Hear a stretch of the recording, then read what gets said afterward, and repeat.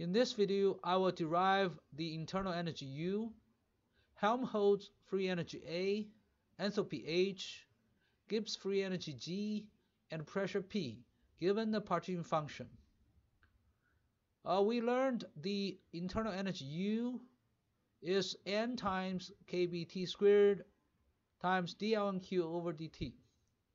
And for simplicity and consistency, we can rewrite this expression to be nRT times dlnq over dlnt. And Q is the partition function of the system. Q is the product of the translational, rotational, vibrational, and electronic partition functions. And if you plug in the product into the logarithm, it becomes the sum of the four logarithms, and therefore this total internal energy is the sum of the translational, rotational, vibrational, and electronic components.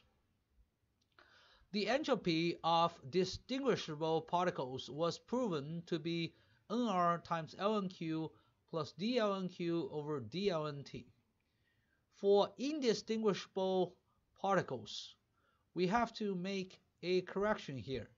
This is because the n factorial permutations of distinguishable particles collapse into only one combination of indistinguishable particles.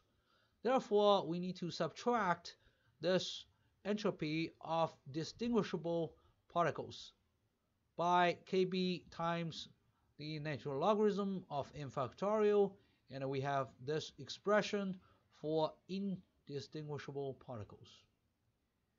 And then we have the expression of the Helmholtz free energy A by definition, A equals U minus TS. So this is U, uh, this part is TS, and we combine this two. This term and this term cancel. So the expression of A is nRT times negative lnq plus the natural logarithm of n and then minus 1.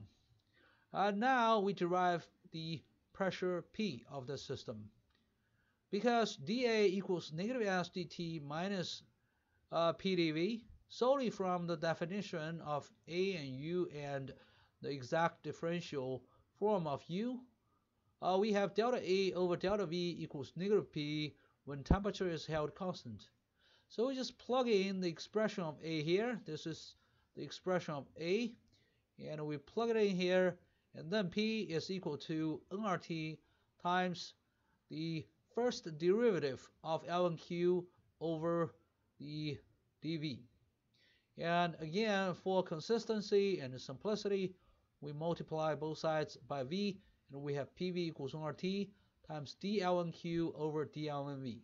So over here, I changed this to a single variable derivative, so I'm using d here. But really, over here, uh, when you take the first derivative of lnq with respect to lnV, you have to hold temperature constant. I write this equation in this way, again for simplicity and convenience. And then H equals U plus PV, so we combine this U here, nRT times dlnq over dlnt, plus PV, again PV is nRT times dlnq over dlnV, and then we combine these two terms, we have nRT times the sum of dlnq over dlnt plus dlnq over dlnv. So you can see the uh, uh, symmetry here, and this is uh, simple and convenient by uh, neglecting uh, the uh, subscripts. But remember, when you take this derivative, you have to hold volume constant. When you take this derivative of lnq over lnv, you hold temperature constant. Now let's get G. G equals A plus PV or H minus Ts. So G equals nRT times this part that give you A and this part that will give you the PV and together we have the expression of G. And in summary, uh, we have this PV divided by nRT equals dlnq over dlnv. Alright, so it looks nice. U over nRT is dlnq over dlnt. H over nRT equals U over nRT plus PV over nRT. And A over nRT is negative ln q plus ln n minus 1. G over nRT is negative ln q plus logarithm of n minus 1 plus d ln q over d ln v. Again, this is the PV term. Now, we will prove PV equals nRT for ideal gas.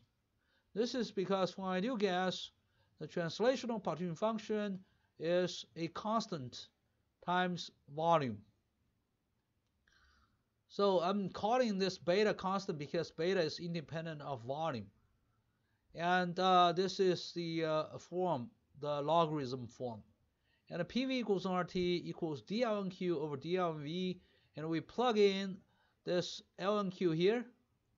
Uh, it's the sum of LNQ translation, LNQ rotation, LNQ vibration, and LNQ electronic.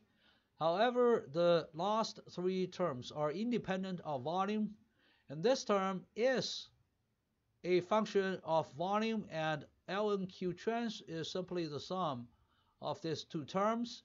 Again, the second term is considered a constant as it's independent of volume, and therefore we have just d ln v over d ln v. We got 1.